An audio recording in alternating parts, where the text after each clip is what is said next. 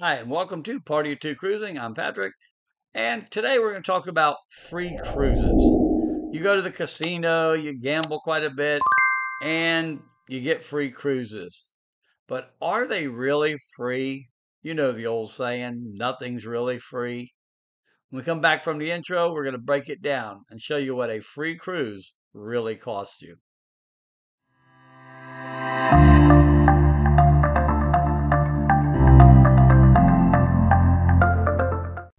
So here are, welcome back, and here are some of my deals uh, that I get, okay?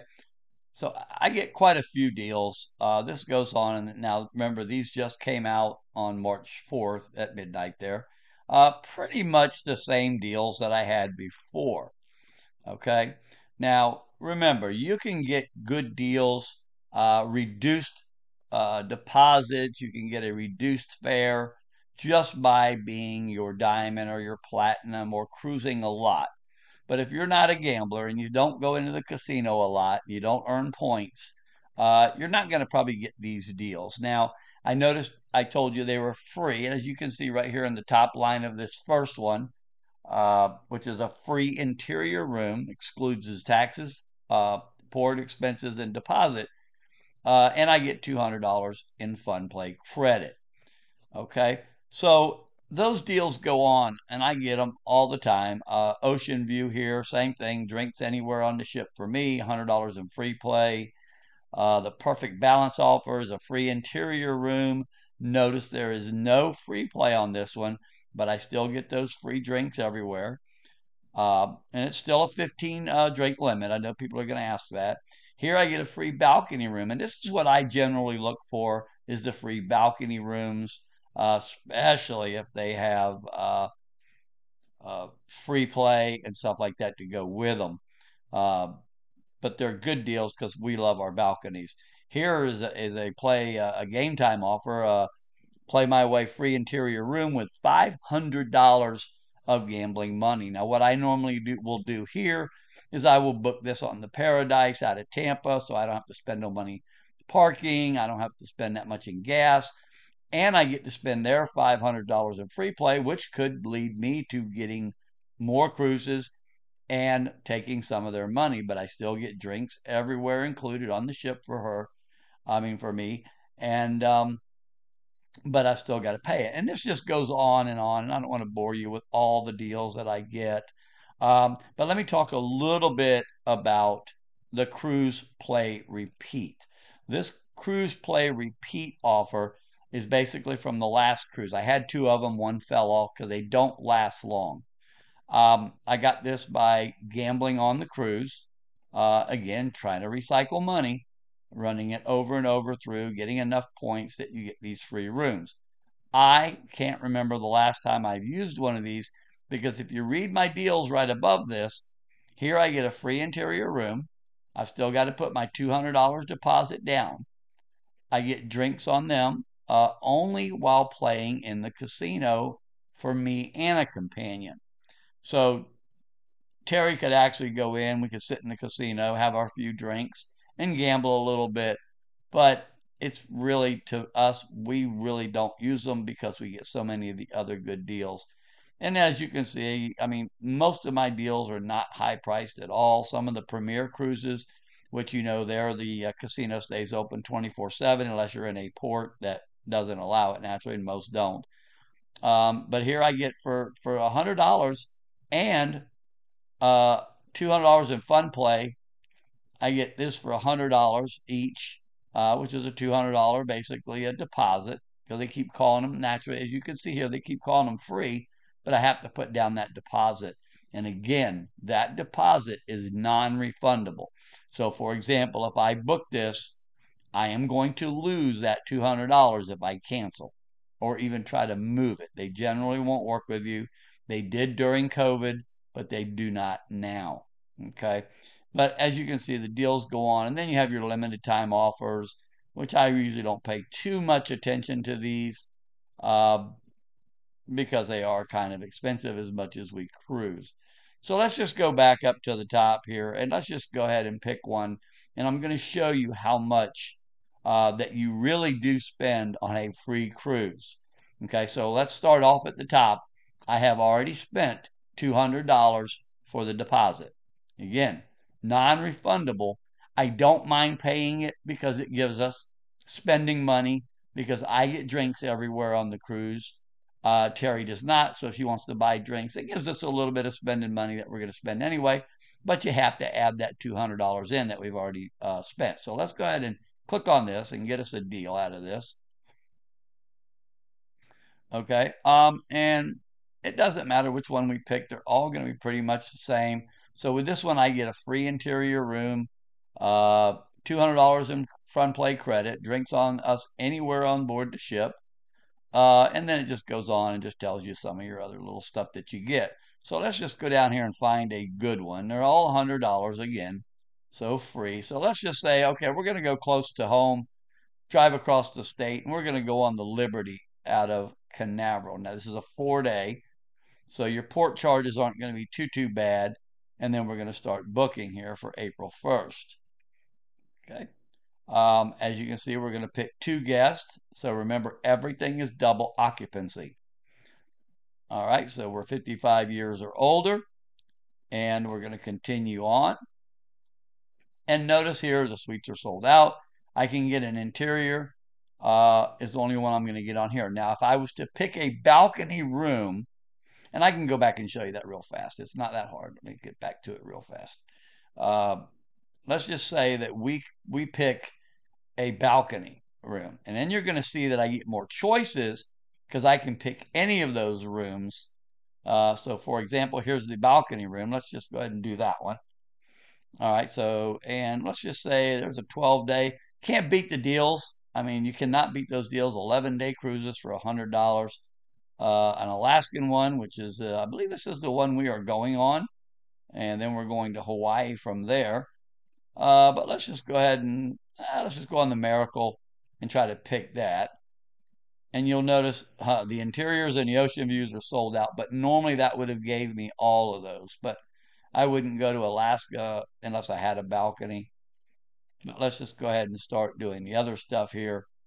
Uh, and notice now I can set it that didn't have any ocean view rooms, but it's giving me a price of 820 820 and that's and this has went up because it's a 10 day alaska cruise okay um, so if we go ahead and just take our extended balcony notice the any of the balconies are 820 obstructed view. All of them are about the same regular balconies until you get to the premium obstructed view balcony which is way more.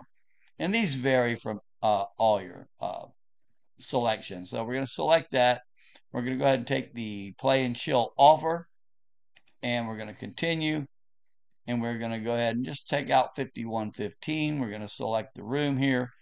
Notice it's $100 100 but look at your taxes and your port fees and expenses $619 that's just for taxes fees and port expenses. Okay? So that and then we should always pay our gratuities. There's 320 more. And then we're going to add vacation protection plan which now you have spent on a free cruise 1237.30 okay? So let's go back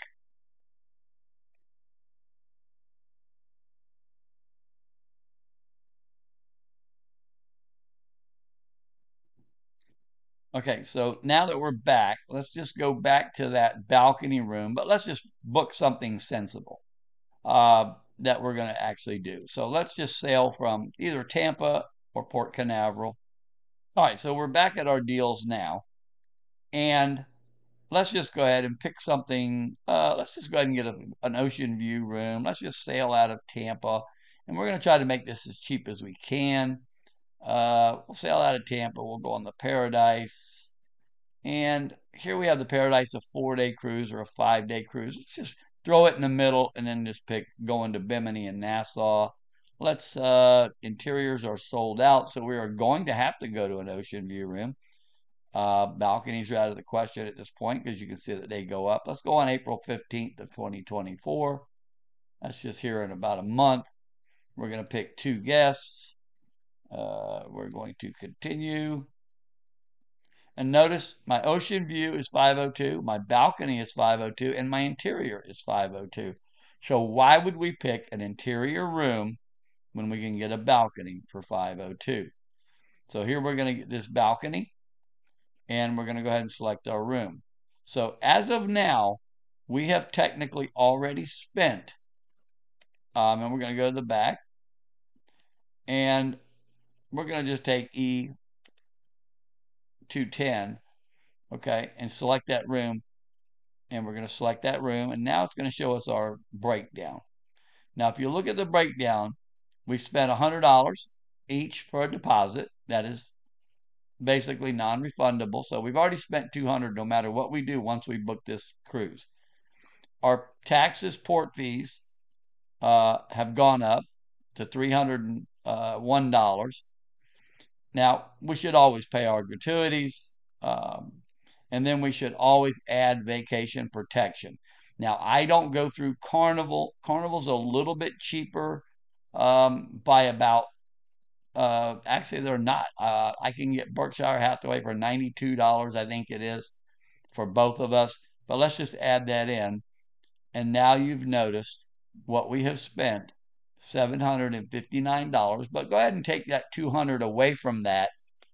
And you've spent uh, actually $559 because remember, you had a $200 on, on board credit that you're going to get from your deposit that you'll be able to spend on board. And you can use that for anything. The only problem is it is a use or lose it. Okay, so you got to spend it on board. If you say you're on your last day of your cruise and you still got $150 left, you haven't spent that much money, and you want to get rid of it, you can't just go cash it out and say, I want my $150 go ahead and go put it in a slot machine and take your chances or buy yourself something on the cruise. Because if you don't use it, you lose it. That is not like you put money on the, the uh, ship. Okay? Now, you also have to understand and remember other things that you're going to have to buy on this cruise is you're probably going to book an excursion. You're probably going to uh, tip extra probably on the ship. Most people do. Even if you don't book an excursion, you're probably going to get off in the ports, go get some drinks and some food. So you're probably really still going to spend that $759 easily on that free cruise. Okay? So just breaking it down again, you're going to spend money even on a free cruise. Are they great deals? Oh, absolutely. They're still great deals. Um, but they they're still going to cost you money no matter what. And when you cruise a lot, uh, that starts to add up when you're doing two cruises a month, sometimes three. Uh, it, it, it starts to get into the wallet a little bit. All right, so you, as you can see, as the old saying goes, nothing is really free, and uh, and also you got to remember too, what I just showed you is pretty much going right out of Tampa or whatever those. So if you're flying in for your cruise or you're uh, driving a far distance, you still got to account for your fuel, more than likely your hotel. And uh, so we pretty much budget about a thousand dollars per cruise. Uh, again, depending on the length of it, uh, your longer ones could naturally be more expensive. Alrighty. Uh, thank you for watching. Don't forget to hit that subscribe button. Don't forget that notification bell. The next one up is the Carnival Vista. That's on March 9th out of Canaveral and uh, that's an eight day to uh, San Juan, Amber Cove, St. Thomas, and St. Martin. So we're looking at kind of relaxing on that one. So that's a long one. So anyway, we'll see you on the next time. And uh, thanks for watching Party of Two Cruising.